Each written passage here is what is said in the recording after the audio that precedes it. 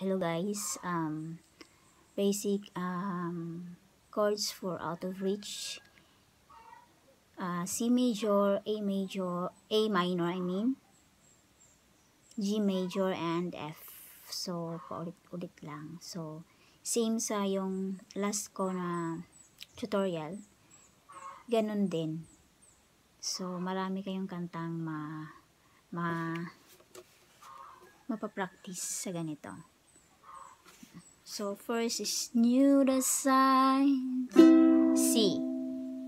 So, third fret, first string. Ring finger. Wasn't right.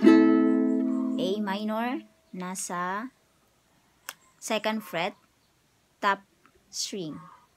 Sa fourth string siya. And I was stupid. G.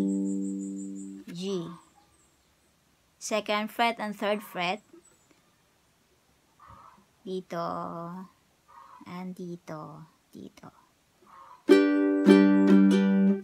For a while, F.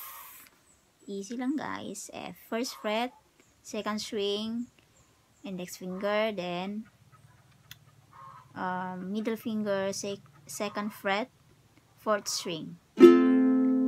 For a while, then balik na naman C, swept away by you, A minor.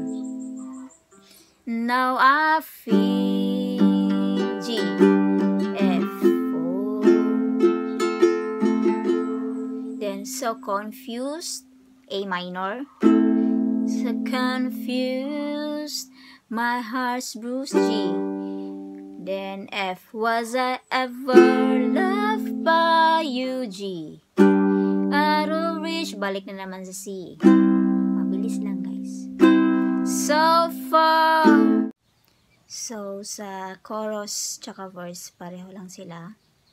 C, A minor, G, at saka F. So pa ulit-ulit lang sa bridge, man, ganun din. Ganun din naman siya lahat. See, yung arrow reach, so far, I'll never hear your F. C, then C, A minor. We were never G. F.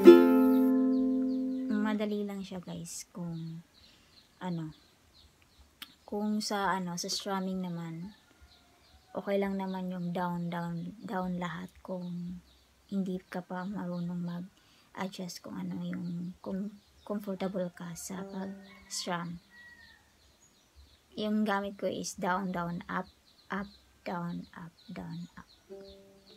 Uh, down